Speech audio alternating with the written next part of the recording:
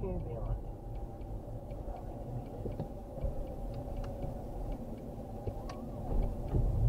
You're gonna fucking stop then, you bitch. She wasn't gonna stop, was she? No, she